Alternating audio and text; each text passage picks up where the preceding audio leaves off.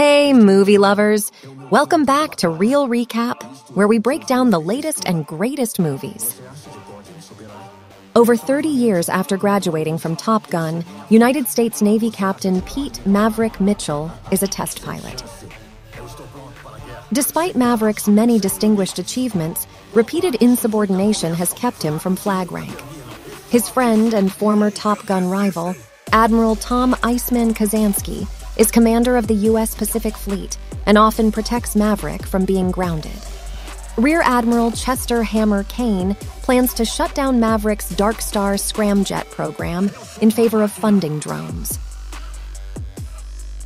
To save the program from cancellation, Maverick changes the flight plan in the upcoming test from Mach 9 to Mach 10 to meet the program's contract specification. The prototype is destroyed, however, when Maverick pushes beyond Mach 10.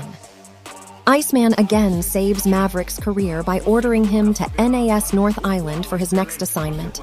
But Hammer warns Maverick that the era of crewed fighter aircraft will soon end. The Navy has been tasked with destroying an unsanctioned uranium enrichment plant, which sits in a deep depression at the end of a canyon.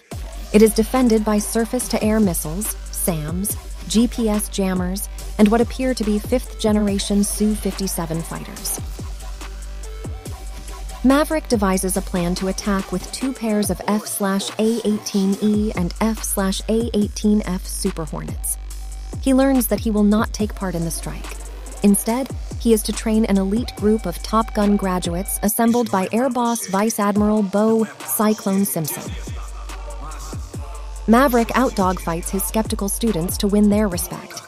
Lieutenants Jake Hangman Seresin and Bradley Rooster Bradshaw, son of Maverick's late best friend and Rio Nick Goose Bradshaw, clash.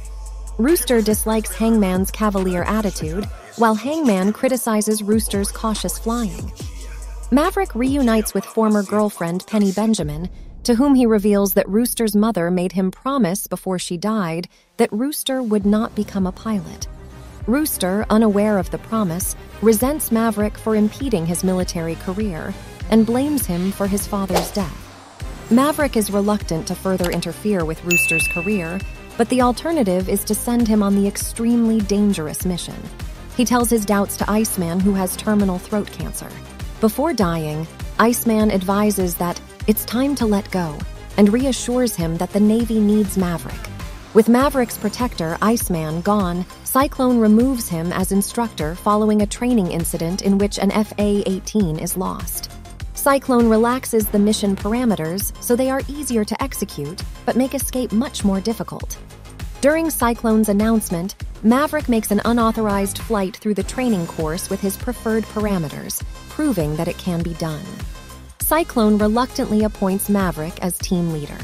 Maverick flies the lead F A-18E in the strike package, accompanied by a buddy lasing F A-18F flown by Lieutenant Natasha Phoenix Trace and Lieutenant Robert Bob Floyd.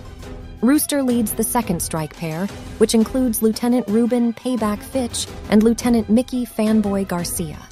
The four jets launch from an aircraft carrier, and Tomahawk cruise missiles destroy the nearby airbase as they approach. The teams successfully destroy the plant, but are engaged by SAMs during their escape.